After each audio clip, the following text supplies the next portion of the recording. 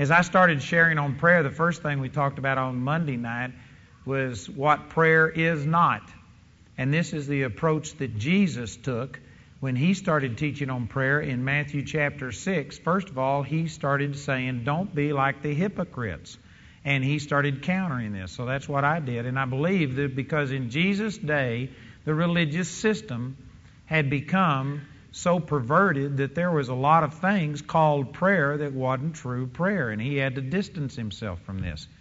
You know, when you go over to a foreign country, this is one of the things that you have to do is you have to separate yourself from the religious culture. I remember when I was in India that, you know, uh, Christianity in India, I was up in the northern part of India where uh, it wasn't real strong, but Christianity there was just as pagan and as ungodly as uh, Hinduism, Buddhism, or anything else. Matter of fact, I saw uh, shrines where they had Hare Krishna, Hare Ram, Buddha, and Jesus all in the same thing, and they worshiped them. In India, they believe in 750 million gods, and if you say, Will you accept Jesus as God? Sure, they will, because they, they don't want to miss one. They worship multiple gods, but it's not a true relationship, and so the Christianity over there is really perverted. Now, I've heard that in the southern part of India it's a lot better. There's a lot of Pentecostal uh, Christianity, but where I was, that's the way it was. And so I had to distance myself and basically renounce that, that this isn't true Christianity. Here's what it is. And I find that in a lot of cultures.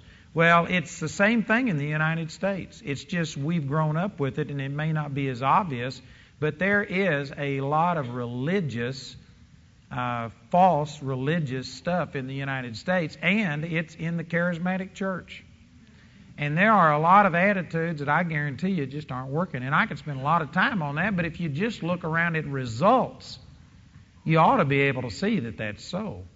There's a lot more effort being put into things than what there is benefit coming out of it, and it has to be that something's being done wrong. So, anyway, that's what I did on Monday and Tuesday nights was counter some of the misconceptions and I believe misrepresentations of prayer. And on Tuesday night, I was intending to sneak up on it, and it just didn't work that way. I kind of just dropped a bomb.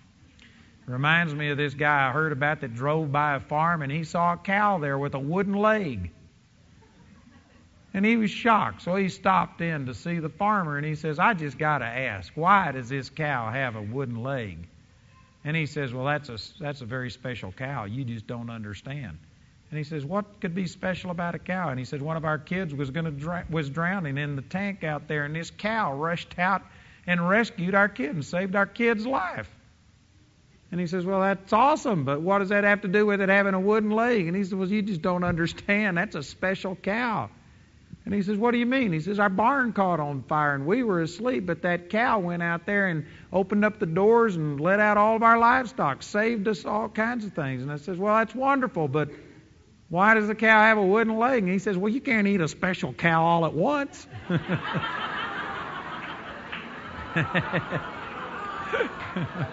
you know what? We got a lot of sacred cows, and I was going to kill it a little bit at a time, see, but. I just found out you can't kill it a little at a time. You just got to kill it. Amen. So anyway, we really pounced on some stuff on Tuesday. And then last night I started sharing what is prayer all about. And I really felt like that was powerful. People were getting it. And basically I just tried to get across the point that prayer is primarily, I mean, in the vast majority of things, it's just worshiping God. It's just loving God. It's just communication with God. And that is so simple that most people don't appreciate what I've said. If you weren't here last night, you really need to get the tape. But it is that simple. And if you would put God first and worship and praise God, it would so change your perspective. It would so take care of cares and other things that you know what? You wouldn't even have a problem. You just can't get upset. You spend time with the King of Kings, the Lord of Lords, his attitude begins to start becoming your attitude, and it just changes the way you think. You don't even get bothered by things that other people get bothered by and then spend days and weeks and months and years praying about it. It just changes your attitude. You know, last night I just mentioned in passing that David told me it looked like our contract on our building, and this, I mean, this has been one pain fell through and everything. And I heard that right as I was getting up here. And anyway, I mentioned it real briefly last night, but I didn't lose any sleep over it. And it wasn't a problem. And Who cares? It's not that big of a deal. Well, today it all worked out, and so anyway, it's all we're on track. And you know, what good would it have done me last night to worry about that and then stay up the night praying and beseeching God and stuff? It all worked out. And you'll find out that most of the stuff that we obsess over is not worth obsessing over. And if you just love and worship God, you'd find out that you wouldn't have as much to pray about. You wouldn't have as many problems. And anyway, there was so much that I shared last night. I, I could spend the rest of this week talking about that, but I do want to try and balance some things. It is not wrong to petition God. It is not wrong to learn how to receive from God. And as a matter of fact, it is an important part of prayer. It's not a big part of prayer. I really don't believe that. I believe that your request ought to be few. But it is not wrong for you to petition God. The scripture does say, Ask and you shall receive, that your joy may be full. And it tells us how to believe God. So tonight I want to talk some about how to receive your needs met. But I want to preface it by saying that if you would do what I was talking about last night, you would find out that all of these blessings would come upon you and overtake you, and you really wouldn't have to spend huge amounts of time pressing in and standing and believing God for things. Things would just work supernaturally. But let's look over in uh, Mark chapter 11 at the example of where Jesus spoke to the fig tree. There's some p- tremendous lessons in this, and it's about how to receive from God in prayer. In Mark chapter 11,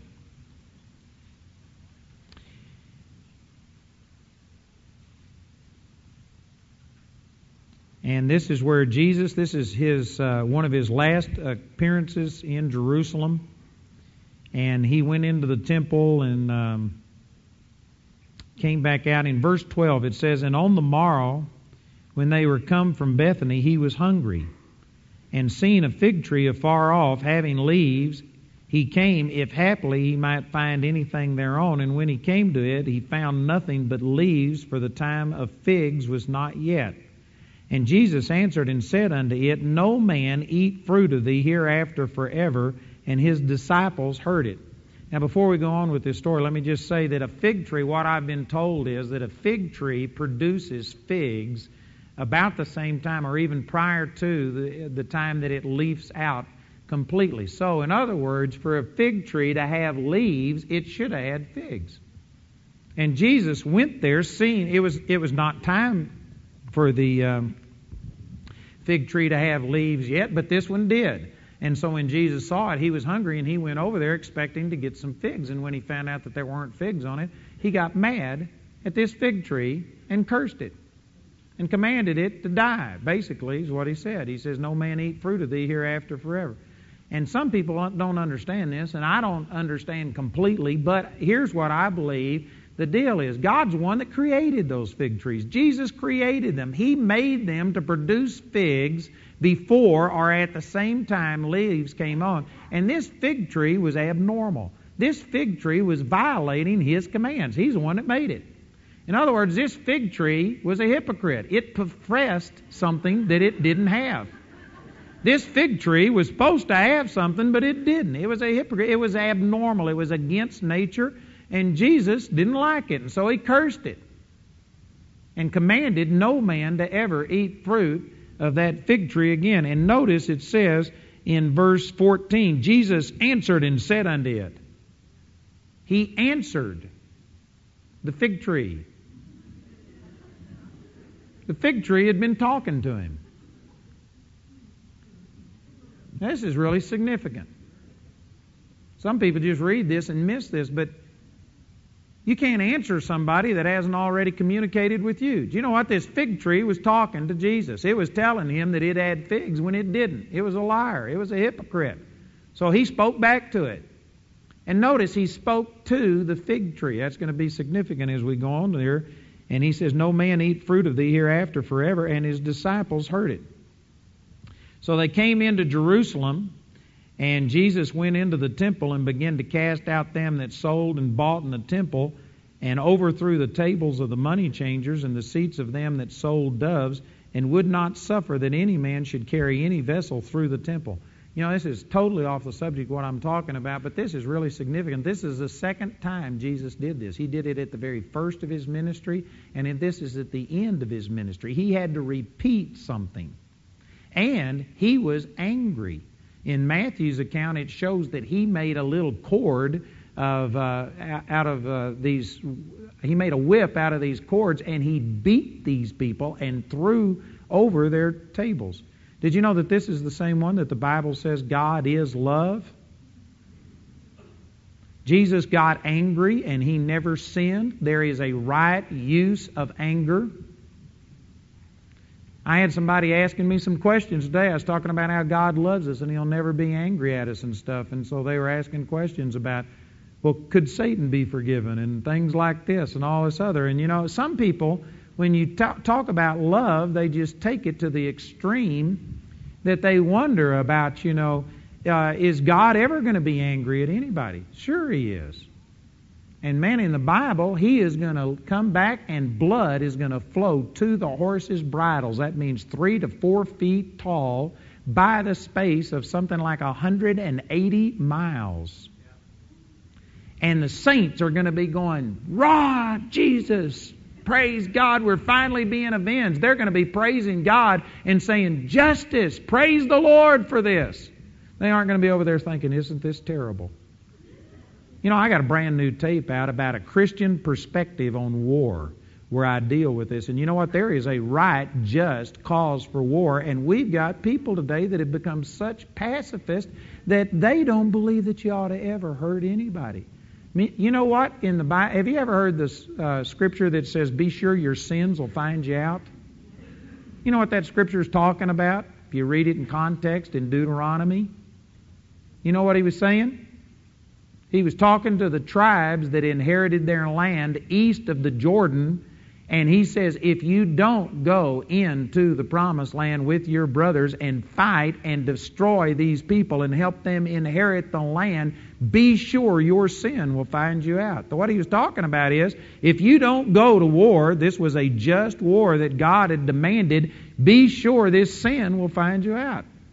There's times that it's sin not to go to war.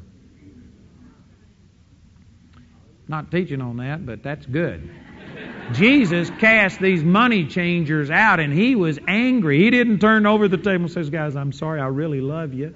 I don't want you to misunderstand, but you can't do this. Please don't do this again. No, he made a whip. He inflicted pain and was angry and drove those people out of there, and that was the righteous thing to do. You know, love, if it's true, God kind of love, has to involve hate. If you say you love a person and you don't hate what is trying to destroy them, then you do not love that person. If you say you love this nation and yet you are willing to let somebody else destroy it because you don't ever want to do any damage, you do not love this nation. If you say you love righteousness but you don't hate evil, you do not love. I hadn't got time to teach on that, but that is awesome. In verse 17, he taught and said unto them, Is it not written, My house shall be called of all nations the house of prayer, but you have made it a den of thieves? And the scribes and the chief priests heard it and sought how they might destroy him, for they feared him, because all the people were astonished at his doctrine. And when even was come, he went out of the city, and in the morning, as they passed by, they saw the fig tree dried up from the roots. If you read this in Matthew's account, I believe it's Matthew chapter 21, over there, Matthew says that when he spoke to the fig tree, uh, the fig tree died immediately. But here it says that they didn't notice it till in the morning, and the key is right here it says they saw the fig tree dried up from the roots. The moment Jesus spoke, the miracle took place the fig tree died, but it died in the roots, and it took approximately 12 hours for what had happened to manifest itself in the physical. That is a beautiful picture of some of the things that happen in prayer. When you pray, God is a spirit. God moves in the spirit realm, but it takes some time sometimes for what God has done in the spiritual world to manifest itself in the physical world. It's amazing how many people don't know that.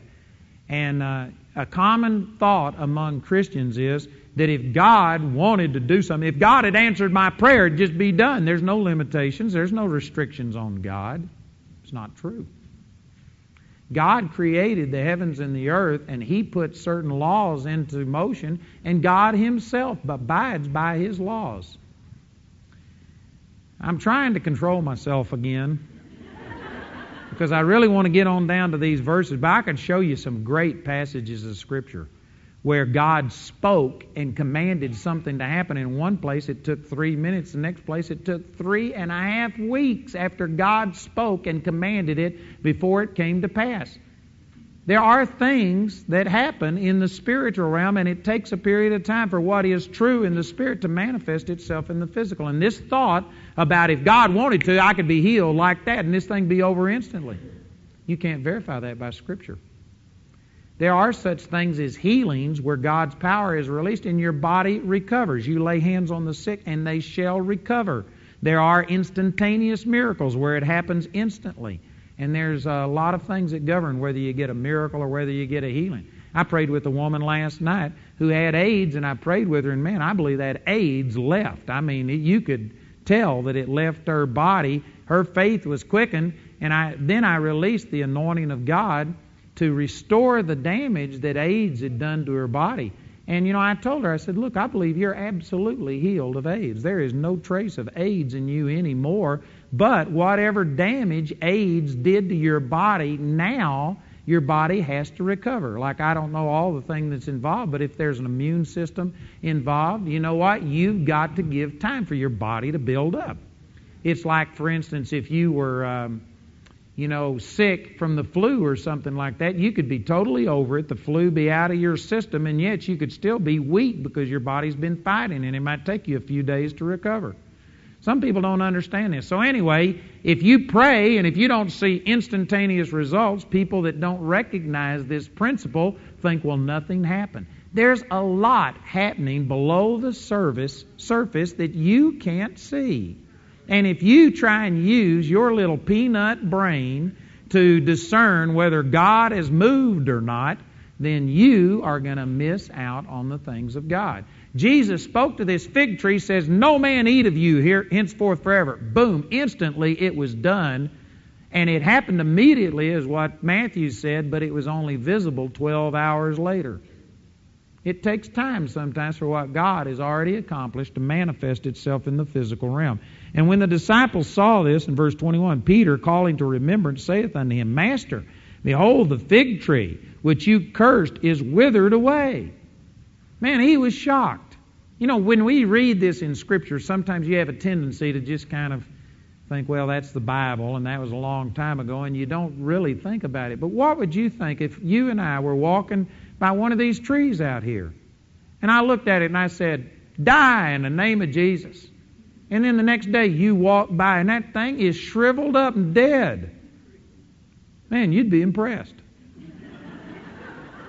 You'd say something. I can guarantee you, Peter just didn't mention this. He was gobsmacked. He was overwhelmed, amen.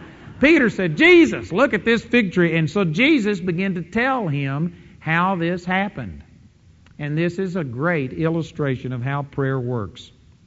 In verse 22, Jesus answering said unto them, Have faith in God. It happened through faith. Faith, this is the power of faith. Man, I could spend hours, days talking on faith right here, but I, I want to go on. But man, faith is so powerful. We do not understand the weapon that God has given us. Faith is a powerful force but we just don't understand how faith works. We don't believe in the power of faith. And because of it, we aren't reaping its benefits. But he says all of this came by having faith in God. He's telling them, look, just believe in God. Now, here are some ways that faith works. I got a lot of things I'd like to say tonight. I don't know if I can get all of this out, but let me just say you need to start understanding that faith is governed by law. Faith isn't, it doesn't just happen. I meet with people all the time and say, Why did God let this person die? Why didn't God heal this person? God establish laws, spiritual laws. There are laws of faith. Romans chapter 3, verse 27 talks about where is boasting then? It is excluded. By what law of, of works? Nay, but by the law of faith. Faith is governed by law, just as in the natural realm. Natural things all around us are governed by law. There are spiritual laws that have to be obeyed. Electricity is governed by law. Electricity flows through things like copper better than it does through rubber.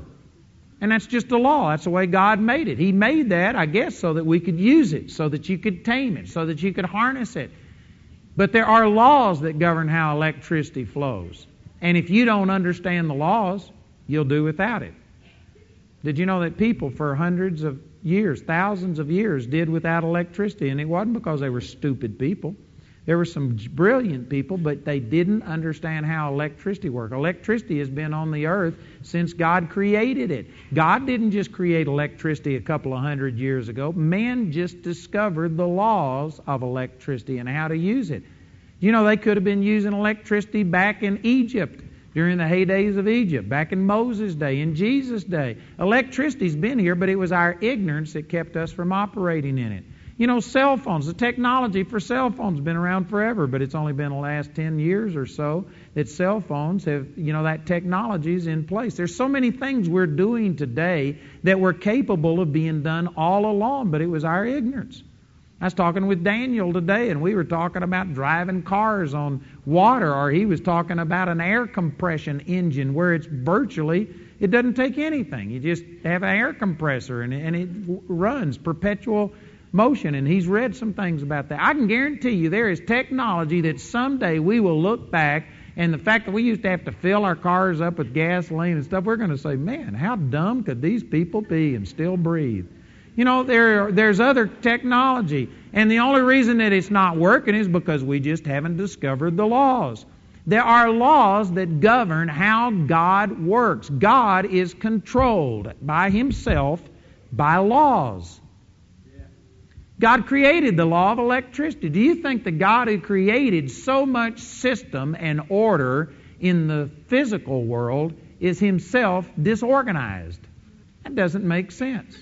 And yet, I, I guarantee you, there's Christians all the time come up to me and they say, Well, I prayed. Well, did you pray right? Well, I don't know if I did it all right, but if God wanted to, He could have healed me. What they're saying is that there's no restrictions on God, there's no restraints upon God. There are. There's self imposed restraints, but nonetheless restraints. God put down laws. I could talk about a lot of them tonight, but one of them, for instance, the Bible says, You resist the devil and he will flee from you. He gave you authority over the devil. Now, if you want to get demonic oppression and stuff over you, and if you're praying and saying, Oh God, please rebuke the devil for me, God loves you. God wants you to be free of demonic oppression, but God gave His word. Psalms chapter 89, verse 34 says, My covenant will I not break, nor alter the thing that is gone forth out of my lips. When God speaks something out of His lips, it's a covenant. He doesn't violate it. God never says anything He doesn't mean, and He always means what He says. He never violates it. When God says, You resist the devil and He will flee from you, that's a tremendous blessing. It's a tremendous privilege, but it just limited what He will do. God will not rebuke the devil for you. And so, if you pray and say, Oh God, please get the devil off my back, it's not going to happen because He set down a law that you have authority and you have to resist the devil and he will flee from you. And you can be as sincere as you want to. You could want deliverance, you could want freedom, but if you don't follow the guidelines, the laws that God set down, it's just not going to work. Another law is that you know what? You'll have what you speak. Death and life are in the power of the tongue. Proverbs chapter 18, verse 20 and 21. And a man's belly shall be satisfied with the fruit of his lips. On and on the scriptures go. Uh, James chapter 3 and other scriptures talk about that. Death and life are in the power of the tongue. You will have what you say. And you know what? Many people are just speaking forth negative things. They're speaking what the doctor said about them. They're talking what their body feels. They're speaking these other things. And you know what? They want to be healed. They desire it, but there are laws that are in place. Electricity has laws. And you know what? If a person goes up and touch an exposed wire that has electricity flowing through it, you're going to get killed, or you're going to get shocked at the very least, possibly killed. And it's not the electric company that just personally didn't like you and says, I'll show them for touching this bare wire, and so they shocked you. No, it's not personal, it's just the law. They, they generate the electricity, it's flowing through that thing, and if you violate the laws, you can be killed by those laws. God created gravity for your benefit. You're sitting in that chair instead of having to bolt it down and hold on. Instead of effort, you can fall asleep in that chair if you want to. And you know what? God gave uh, gravity for our benefit. But if you violate the laws, if you try to fly, jump off of a 10 story building, you know what? That same law that was intended for your benefit will kill you. And it's not personal. God didn't kill you. You killed yourself. You didn't understand and cooperate with the laws, and you violated it. A person grabs a live wire, they get killed. The electric company didn't kill them, they killed themselves by violating the laws. Everybody follow that? And you know what? If you don't understand the laws and go out and say, oh man, I'm feeling worse, I think I'm dying, the doctor says I'll be dead in two weeks, and then you say, Jesus, heal me if it be thy will, for Jesus' sake, amen. And then you can't understand why you aren't healed. It, you're violating the laws. You aren't using the words to speak faith. You're speaking unbelief. And you're killing yourself. And then you're mad at God. Why did that person die? It's ignorance gone to seed. That's not smart. And I tell you, God's not going to violate His word. If if God saw somebody trying to jump off the Empire State Building trying to fly, and he says, Well, they're really sincere and they don't mean bad and they're a good person, and you know what? I'm going to suspend gravity to save their life. Well, then millions of other people would die as he suspends gravity because we depend upon gravity. You couldn't turn a corner without gravity. You know, the inertia would just make you go straight. You'd fly off into space. All kinds of things would happen. People would die. And God's not going to suspend His laws just because you meant well. There's people that die all of the time because they violate the laws that God created in the natural realm. And you know what? There are spiritual laws, and we violate them. Jesus spoke to this fig tree. And there's people that don't speak to their problem. They aren't doing what God told them to do. He said, Have faith in God. And then here's what he said in verse 23 For verily I say unto you, that whosoever shall say unto this mountain, be thou removed, and be thou cast into the sea, and shall not doubt in his heart, but shall believe that those things which he saith shall come to pass. He shall have whatsoever he saith. Notice there's three times in this verse he talks about saying, speaking. Most of us don't do this. And here is, here's a truth that most people have missed. He says, Whosoever shall say unto this mountain, Be thou removed. Now, we're talking about prayer, and I'm telling you about how prayer works, especially when you need something and you petition God. Here's how prayer works He said, Speak to your mountain and command it to be cast into the sea. You know what the average Christian's doing? Is saying, God, I've got this mountain. Please move this mountain. They're talking to God about their mountain instead of talking to their mountain about God. The Lord told you to talk to the mountain, not talk to God. The mountain here is your problem. Whatever your problem is, speak to it. Notice what Jesus did, the whole thing that occasioned this. He spoke to the fig tree. He answered the fig tree. Fig tree had already been talking to him. And he talked to the fig tree, and he goes on in the next verse after this, verse 24, talking about prayer. He says, Whatsoever things you desire, when you pray, believe that you receive them, and you shall have them. And so Jesus prayed over this fig tree, but there never was any type of a petition or request to God. Instead, he's calling it prayer when he took his authority, believed, and spoke to the obstacle, spoke to the problem. He's calling that prayer. Did you know when you need to be healed, if you would take into account all the things I've been teaching about prayer this week, God already knows what you have need of. You don't need to tell him what the doctor said. You don't need to tell him how bad you feel. You don't need to tell him that dear old Aunt Susie died of this same thing, and God, if you don't do something, I'm going to die. That's not the purpose of prayer, is to inform poor, misinformed God of what needs to happen. And you don't need to sit there and gripe and complain. God's already done it. By His stripes you were healed. So I have people all the time say, So what is the purpose of prayer? If you've already got it, if God's already healed me, then how do I how do I get healed? How do I pray? Well, first of all, you enter into his gates with thanksgiving, begin to praise him that he's already done it, magnify him. That builds your faith, it encourages you. And then you turn and say, Father, I thank you that I'm done. And now I receive it, and you talk to whatever the problem is. If you got a problem in your body, talk to it. Don't talk to God about it. Praise God for what His Word says He's already done, and then speak to what your problem is. You know, the classic example of this for me is that uh, in 2001, I believe it was, I saw this Nikki Oshinsky healed. We've got that video out there of it. I went in, 2000, in September of 2001. I went to um, Charlotte, North Carolina, and I was staying with these people in in their home, and they um, I told them they needed to watch this video. So I was out during the day, and when I came back, the woman was just sitting there. She'd been crying. She watched that video, and it touched her so much. And she says, I've got a friend that has that exact same thing that Nikki had, and would you pray for her? And I said, Sure, I pray for her. And she said, Good thing, because she's on her way over here. She'll be here in 10 minutes.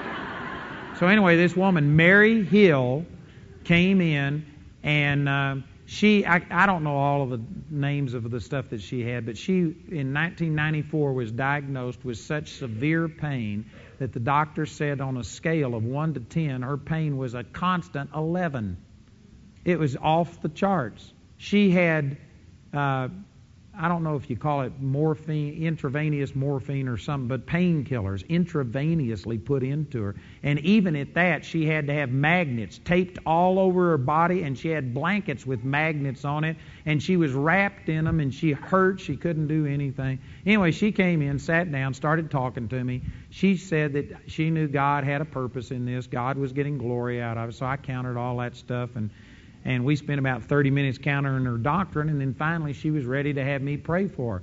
And so I grabbed her hands. I commanded all of the pain to leave her body in Jesus' name. And boom, instantly, she was pain free. First time in seven years. And she just was amazed. She started to praise God. But then she says, But I still have a burning right here across my back, right where my waist is.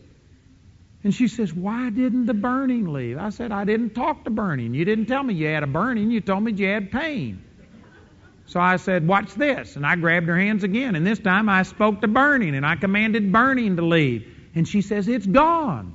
And so she started to praise God. And I started teaching her how to do it. I used this exact verse, Mark 11, 23, speak to your mountain. I said, if you have another pain comes back, it's not that God didn't heal you, it's the devil knocking on the door, seeing if you're going to open it back up. And if you say, oh no, I wasn't healed, or oh no, I lost my healing, then you open the door and Satan will come back in. But if you say, no, by his stripes I was healed, the gifts and the callings of God are without repentance, and I command this pain to leave, then I said, You'll retain your healing. Everything will be fine.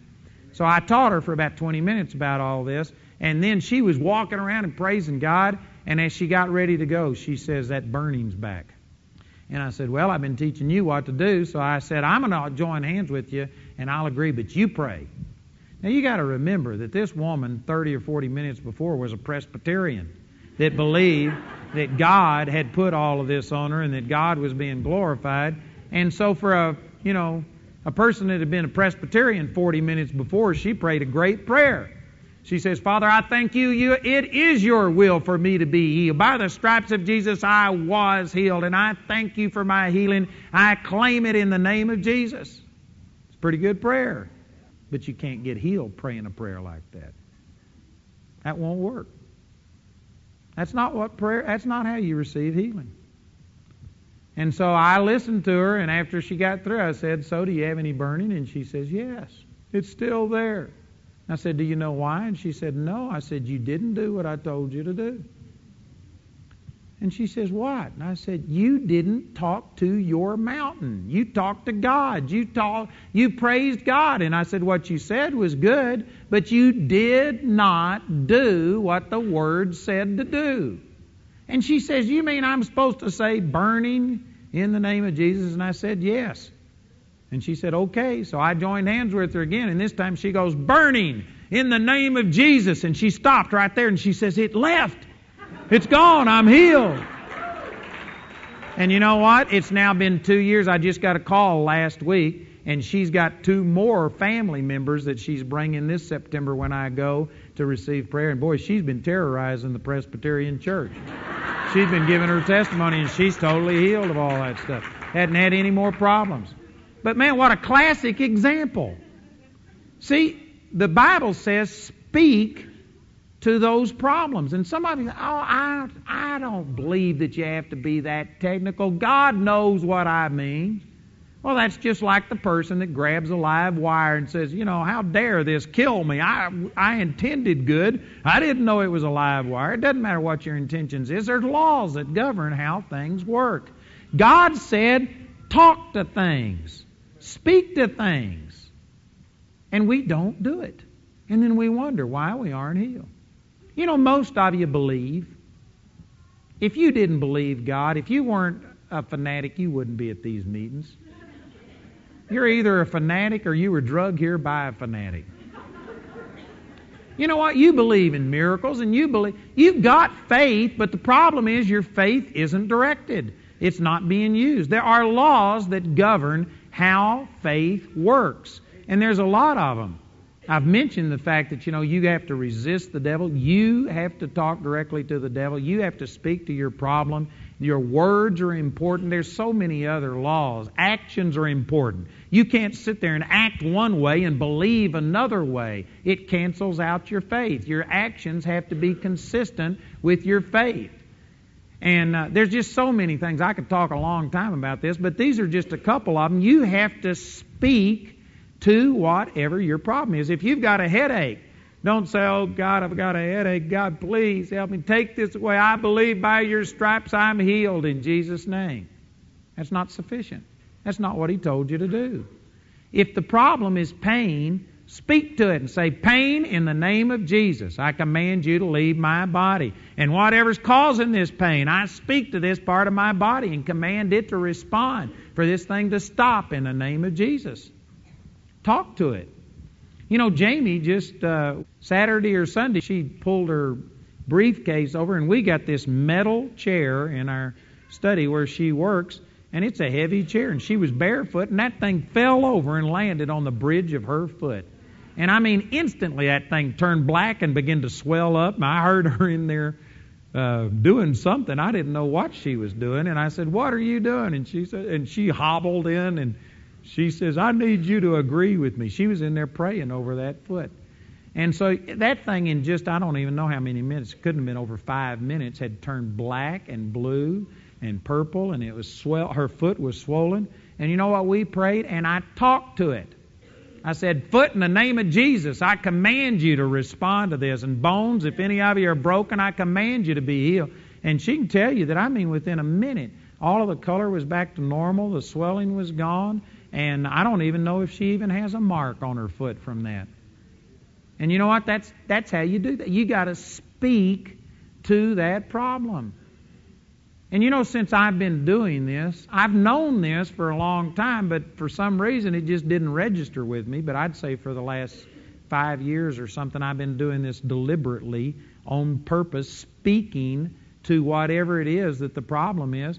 And since I've done that, I have seen probably two, three, four times as many instant manifestations of healing as I used to see. It's a real simple principle. But what I'm trying to get across here is people just don't understand. They think, well, if God loved me, He'd just heal me. No, He's set down laws, and it's according to your faith. I can show you examples. Jesus said concerning the city of Jerusalem, He said, Jerusalem, Jerusalem, how many times I would have gathered you as a hen gathers her chicks, but you would not. Jesus wanted to bless the people and minister to them and comfort them and, and be a blessing to the people, and they would not receive it. You have to cooperate in his hometown, Mark chapter 6. He wanted to do works, he wanted to heal people, but he could not, it's what the scripture says in Mark 6 5, do many mighty works because of their unbelief. And you have to cooperate. And I tell you what, if you aren't doing what the Word says, if you are praying to God about your problem instead of praising God that your problem's taken care of and then speaking to your problem and taking your authority, you will not see the right results. It just doesn't work that way. And you can say, well, I don't like that. Tough. You don't get to choose the laws. You don't get to make them up. You just have to discover what they are and then cooperate with them. It might be easier for you to, you know, wire your house with wood instead of copper. You might think that's cheaper and it's easier to cut wood, but I can guarantee you wood won't conduct the electricity the same way that copper will. And so it doesn't matter if you like wood better. You just got to discover what conducts electricity and go with the flow. And that's the way it is. These are things in God's Word that He's told us how it works. And you have to learn what it is and cooperate. So after he had said all this in the 23rd verse, in the 24th verse, he says, Therefore, I say unto you, what things soever you desire when you pray, believe that you receive them, and you shall have them. So he says you have to believe you receive when you pray, and you shall, future tense, have them. And here's a principle I could spend. I've got a tape that goes into an hour and a half on this. I'm not going to spend an hour and a half. I'm going to say this real quickly. Maybe tomorrow night I'll go further in this. I'm not sure. But hopefully you'll be able to get this. You have to believe that you have received the moment you prayed. And then you shall, future tense, see visible manifestation and proof of it. Now, that future tense manifestation could be one second, or it could be one hour, or one day, or one week. And I haven't got time to explain this tonight. Maybe I'll deal with this tomorrow. But to a large degree, you can control how long that period of time is in between when you say amen and there it is. It's basically under your control. Well, I've just said some stuff right there that most people don't have a clue what I'm talking about. Most people don't think that way. Most people just pray and ask, and then you don't have a clue what's going on. And you just wait. And if something works out, well, then God must have answered my prayer. And if it doesn't work out, well, God must have said no, and that's not true. I'm going to say some things quickly. I'll try. And i am going to have to explain this tomorrow night because I just hadn't got time to say these things. But the moment you pray, the very moment you pray and believe for something, God moves and releases His power instantly, just like this fig tree. Instantly, it's done. And if there aren't any hindrances in yourself or outside of yourself, then you'll see, you can see instant manifestation if you will use that power right and speak to your problem do this. And you should see and can see instant manifestation. God's already done everything about healing people that He's going to do. And when you have a person who's sick, you don't just pray and then wait for something to happen. You take control and you make them manifest healing. I know some of you are just saying, You can't do this. Yes, you can. And that's how we're seeing things happen. It's up to you when your healing manifests. Now, there, there may be a couple of exceptions. I'll try and deal with this tomorrow night. But anyway, as a basic rule, that is true that God instantly gives. His power is instantly released, and you have to believe that regardless of what you see. If you don't see anything happen, you still have to believe that you received when you prayed. Now, some people just struggle with this and say, How can I believe? You're telling me, here I've got pain in my body, and you're telling me to believe that I'm healed when there is no evidence of it. I feel bad in my body. Some people just cannot do that. Other people will say, All right, all right I got this. What I do is act like it's so when it really isn't so, and then it'll become so. No, that's not what I'm saying. And if you do that, well, then you're into a mind game and you're trying to believe that it really is real when it isn't real. But if you'll believe it's real when it isn't real, then it'll become real. No, that's not right. The, the way I understand this is that, see, God is a spirit, and when God moves, God moves into the spiritual world.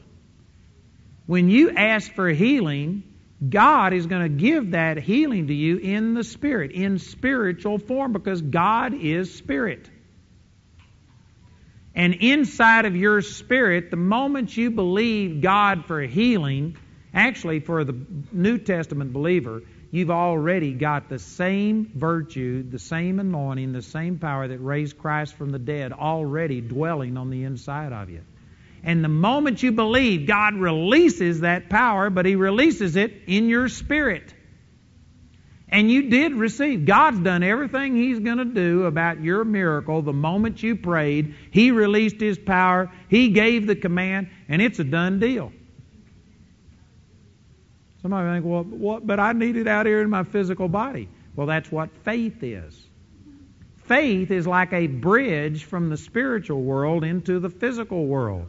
Faith is how what has happened in the spirit transfers over into the physical realm. That's what faith is.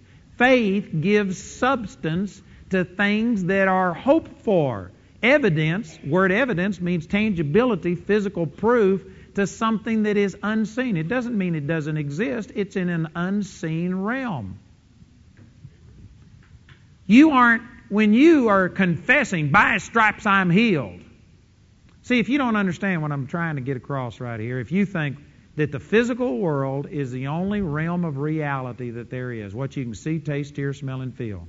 If you think that's real, this is reality, I'm trying to be a realist, I'm trying to deal with reality, and you say, I hurt, so I don't care what you say, I hurt, well, then you know what? You would be a liar to say that you're healed and that God has healed you when anybody can tell you're still in pain, you still have the rash, you still have the tumor, you still got whatever.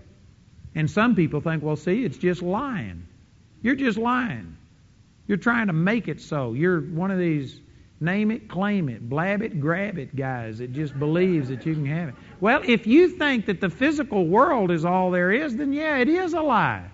But what I'm saying is there is a spiritual world. There is a spiritual you, and it is real. The spiritual world created everything physical that we see. The spiritual world is the parent force. The spiritual world will still be in existence long after this physical world is gone. It is not wrong to acknowledge that there are things beyond what you can see, taste, hear, smell, and feel. There's radio and television signals in this room. You can't see them, but they're here. If you had a television set, you could prove it. There's radio signals in that, this room. That's what we're using right now for this wireless microphone. It's being transmitted back there to that board and then put through the speaker system. There are radio and television signals in here, and if you say they are not because you can't see them, it just means you aren't very smart. They're here. You, it's just your ignorance. And you know what? There are spiritual things. There are angels in here. There's demons in here. The Spirit of God is here. In your spirit, there is reality that you cannot contact or come in contact with through your five senses.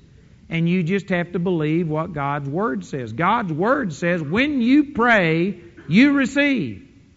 And if you, if you start feeling in your body or look in the mirror to see, well, did it happen? Well, then you know what? You're going to miss it because it comes, but it comes in the spiritual world. How does it get from the spiritual world into the physical world? By somebody believing that I, even though I can't see it, I know God's Word says when I pray, believe that I receive it right now, and then it will, future tense, manifest.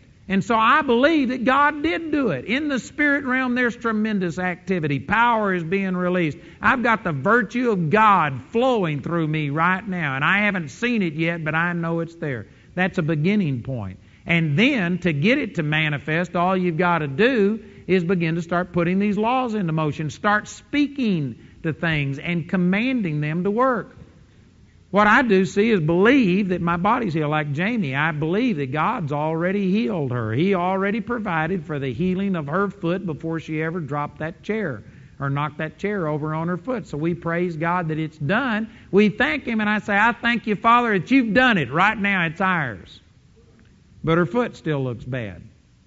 So then I say, Now, foot, I speak to you in the name of Jesus, and what I'm doing is drawing that out. It's like having a well. Here's a well in front of you, and all of the water that you could ever use is right there in that well. But you could die of thirst standing beside that well if you don't know how to draw it out. If you don't know how to get it out of there, you could be 10 feet from the water and die of thirst if you don't know how to get it out.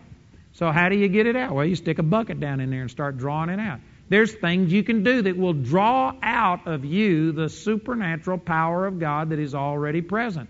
One of them is use your words to speak life instead of death, and specifically direct them at what your problem is.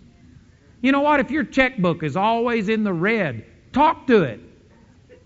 I know some of you think this is absolutely absurd. Well, Jesus talked to the fig tree. And he said it it spoke to him. He answered it. You know what? Your checkbook will talk to you. Every time you look at it, you say, Well, the word doesn't work. Man, you're a loser. It'll tell you all kinds of things. You know what you need to do? You need to look at it and talk to it. Say, I command all this red to leave in the name of Jesus. I command black to come in Jesus' name. Talk to your wallet. Talk to your investments. Talk to things. You know, I talk to my trees on my property. And, you know, I was sitting out on a rock this last week just praising God, and I got to looking, and we've had a real wet year this year. And, you know, my grass is up that high, and it's like a jungle. We live in a semi arid climate, and it's usually not like that. But my property, I speak to it, I bless it, I quote scriptures to it about how God makes water to flow in the mountains and things like this. And I speak to my property and talk to trees and bless them. Every time I see a bug or something on one of those things, I curse it and bless the tree, and I do all kinds of things. And you know, I was sitting out on top of my rock praising God this way, and I just happened to look around, and my property is like a forest. You can't walk through it without, when it's after a rain or something, the grass will get you wet all the way up to your knees. I did that just Saturday. And I looked across the road in every direction, and did you know that the other people's grass is maybe that high? And it just dawned on me that, man, this stuff works. My property's blessed. My trees are bigger. I looked, and, and you know, the people right next to me, there is a row of dead trees right across my property line. And all of my trees look good. People think that's weird. But it works. You know, back in my poverty days when we were just struggling to get along, my mother kept Jamie and me alive, and we never told her we needed anything. She may have known, I don't know, but we'd go over and she'd feed us, and that's sometimes the only time we had eaten a week or two weeks at a time. And I'd go over and mow her lawn and stuff. And after my dad died, he used to fertilize those trees, spray them. Uh, we had 23 pecan trees in our yard. Some call, some people call them pecan trees, but that's what we used at night if you didn't want to go out to the outhouse. Amen. We call them pecans. We had 23 pecan trees in our yard. And my dad used to take care of them, and we would get anywhere from three to four hundred pounds of pecans out of those things. But after my dad died, we just kind of let them die. And anyway, it got to where one year we picked up 50 pounds of pecans because we had so many bagworms in those trees. And during this period of time, when my mother was blessing me and didn't even know it, and I didn't have any way to be able to help her, I'd mow her lawn. And as I'd walk around with that lawnmower around every one of those trees, I'd put one hand on that tree and bless it. And I'd curse those bagworms and command that thing to work. Did you know the year before we got 50 pounds? The year after I did that, we had over 500 pounds of pecans. And some people say, oh, well, I don't believe that. Well, that's the reason it doesn't work for you. Amen. But you know what? This is one of the laws of God. You got to speak to things, talk to things, and talk to your body. Your body will respond to you. I was on an airplane one time and I, I was reading this magazine in the airplane and it had an article where scientists have done these tests and they found a part of your brain, I think it was a frontal lobe of the brain, that um, they, I don't know how they do this stuff, but they determined that it was voice activated. And they said that there is literally a part of your brain that if you start talking about, man, I'm tired. Oh, I'm worn out. I just feel like I can't go any further. Your brain is voice activated and your body starts shutting down and getting ready for rest. You get more tired as you talk tired. And then they said that if you start talking about, man, I feel good, that that same part of your brain starts flowing endorphins through your body and doing all of these things. And anyway, they have discovered that the brain is voice activated, which is what God said all along. I saw a thing on television where they were talking about painkillers. And they it's a long story, I'll try and condense this real quick, but they found out that morphine doesn't kill pain. What we call painkillers doesn't kill pain. You know what it does? It stimulates your body to produce endorphins. And your own body, endorphins are what kills your pain. But morphine stimulates your body to produce endorphins. Now that they found that out, they can actually put uh, little things like in your pocket with wires that go inside your body up to your brain. And people who have chronic pain, you can, with an electrical shock, shock the part of your brain that produces endorphins, and it'll kill pain 10 times as much as what uh, morphine will do. Because morphine doesn't kill pain. Painkillers don't kill pain. It stimulates your body to kill pain. And to prove it, they said the animal that has the most natural endorphins in their body is a camel. And they showed a person sticking a knife in a camel, and you had to turn the knife before the camel felt it. Because they have so many natural endorphins, they don't feel it. When a runner runs, your body puts out endorphins, and that's when you get your second wind, and all of a sudden your pain and tiredness leaves, and you just feel like it. When your body's under stress, it will kick in and start producing endorphins. So here's the point that I'm making your body has the potential in it to kill pain and to do things, but instead of us using our words and commanding pain leave my body, we turn to a pill and we've gotten where we turn to a pill and do all these things. You know, you could speak to your body and make your body recover, and you can do all kinds of things. You can command your eyesight to work. I've done that with my eyesight. I've commanded toothaches to leave. Uh, Victor back there was healed of that. We spoke to Victor. He had a rash all over his hands, and in Chicago he was with us, and we spoke to that, and his rash is gone. We talked to it. This is simple stuff, but this is how the kingdom works. We've made it too hard. See, we just pray and we say, Oh God, here's my need. If you love me, do something. And then when nothing happens, we get bitter at God. God, why haven't you done it? It's because of our own ignorance. God has given you the power. You have the anointing on the inside of you to heal the sick, cleanse the lepers, and raise the dead. And if you aren't seeing it manifest, it's not God who's not giving, it's you that doesn't know how to receive. So we need to get into the Word, start reading it, and read scriptures like Mark 11, 23, and speak to your mountain. Use your voice and start doing this. And if you'll do this, is how you pray. So to put all of this back into perspective, I don't spend a lot of time asking for things. Most of the time, I just spend loving God, and that's what I use prayer for 90% of the time. Because of that, because my mind is stayed on the Lord, God keeps me in perfect peace. I don't have to pray when I hear a bad report about our contract falling through. It's not that big of a deal. I've been fellowshipping with God Almighty, and I know that this building, as important as it is, it's not eternal. And it's just not that big of a thing. And I had something better to do last night than to worry about that building. So, you know what? I went to bed and slept. I needed to sleep more than I needed to worry. And so I didn't worry about it, and it took care of itself. I never even I never even prayed over this building after I heard that our contract fell through. I had other things to do. And you know what? It worked out. So if you'll put the first things first and worship God and just love God, you'll find out that you won't have to spend very much time praying over stuff. But when you do have to pray over something, when there is something critical, then what you do is you just worship Him, praise Him. Father, I thank you that you've already taken care of this. Before I even had it, you start glorifying Him, thanking Him, praising Him for it. And uh, as I praise God, the Bible says, as you abound in you abound in faith with thanksgiving. Colossians chapter 2, verse 7. So as you start praising God, Father, thank you that by your stripes I was healed. You know what I do? I keep praising God and thanking God for what the Word says has happened until I know that faith is quickened on the inside of me. Until I know I'm not in fear anymore and I'm not worrying, but I'm in faith. I don't know how to explain this to you. Some of you may not have ever been there, but once you ever get into faith, once you start walking in faith, it's it's um, I started to say tangible. I don't know if that's the right word, but it's discernible. I can tell you when I'm in faith. I know when I'm in faith. I remember in 1976 is the first time I ever stood there and I said, you know what? I know I am operating in faith and I can raise the dead. I knew it. And I don't always walk in that realm, but I know how to get into that realm.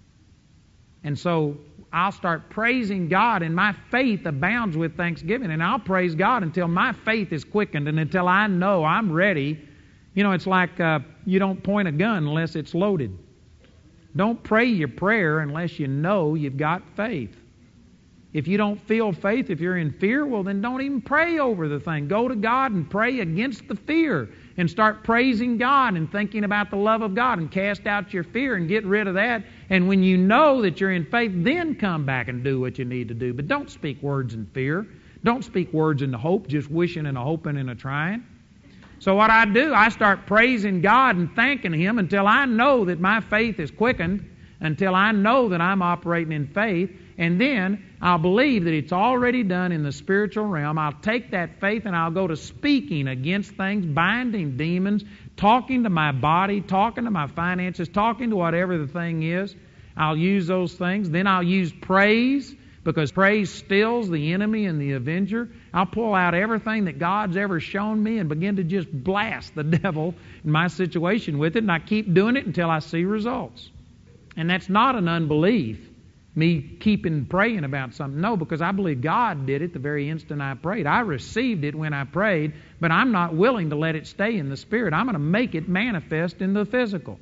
So when I speak to things, I can pray for you three, four, five, six, seven, eight, nine times. I don't care how many times I pray for you.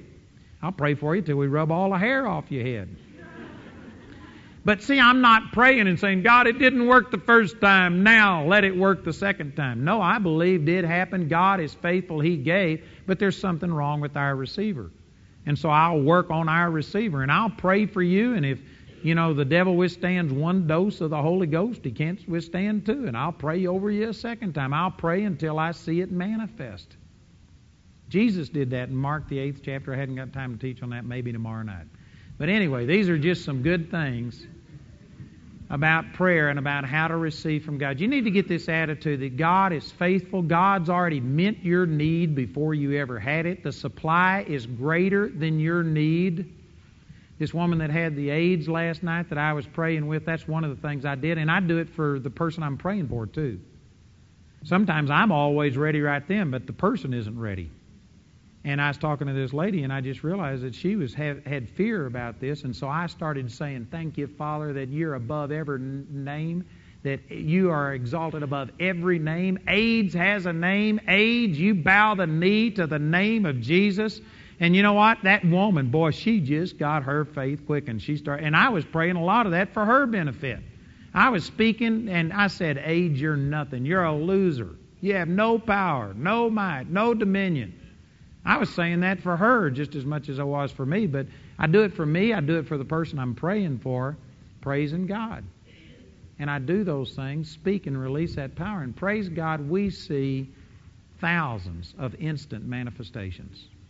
I couldn't even. I saw uh, Sandy down here praying for a lady last night who had problems with her feet, and one, both feet were swollen. One of them, you could see it. One foot was unswollen, and the other one was still swollen. And they'd both been swollen before. See, some people would look at that and say, Well, I wonder why God didn't do them both. God did heal them both. It was us that only received one. And so you keep praying until you get the other one. If you can move the devil an inch, you can move him a mile, an inch at a time if you have to. See, again, people just think that God mysteriously, if He wants you healed, then boom, you're just healed. And if there's any delay, if there's any problem, if you have to stand on it and speak and rebuke something, they think, well, why didn't it work perfectly? You know why it doesn't work perfectly? because God's using imperfect people. If we weren't so full of unbelief, we'd see greater manifestations. But it's a miracle that we see the manifestations we do. As baptized in unbelief as we are, watching murder and adultery and homosexuality for entertainment and listening to the bad news, it's a miracle we see anything happen. You know, if it was Jesus standing here not having to flow through me, every person in here would see instant manifestations and things like that. But because he has to use me, it just doesn't come quite as quick. I got, I'm not as far along as what Jesus was. I got a lot of unbelief and junk in me that I hadn't worked out yet. And you know, as I was saying that, I really felt like the Lord just spoke to me and said, No, it wouldn't happen. He wouldn't get everybody healed in here either. Because in his hometown, he couldn't do many mighty works because of their unbelief. And brothers and sisters, we got more unbelief than the people of Jesus' day ever thought about having. You wouldn't see every person in here healed even if Jesus was here in his physical body, not having to flow through me because we are so full of unbelief. But I tell you, if you could just begin to understand some of these things, tomorrow night, I promise you, I'm going to try and wrap this up, tie it all together. So please come back or at least get the tapes tomorrow night, and it'll help you. Amen.